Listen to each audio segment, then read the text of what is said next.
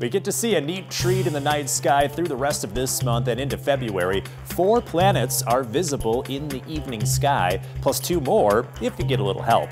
If you go out after dark and look south and southeast, Venus, Saturn, Jupiter, and Mars appear like a little arc in the sky. They should be bright and visible to the naked eye. Jupiter shines the brightest overhead, and Venus will be easy to pick out too with how bright it is. Saturn and Mars are a little dimmer, with Mars rising in the east and Saturn being close to Venus. If you happen to have a telescope or some binoculars, you may be able to pick out Uranus and Neptune within the lineup. Neptune is close to Venus and Saturn, while Uranus is close to Jupiter. Seeing multiple planets at the same time isn't rare, but it doesn't happen every year either, so it's worth checking out. The winter sky is usually clearer than the hazy summer sky, which should help the planets appear brighter. In late February, Mercury sneaks into the lineup, giving us a chance to see seven planets in total, again with some help with a telescope.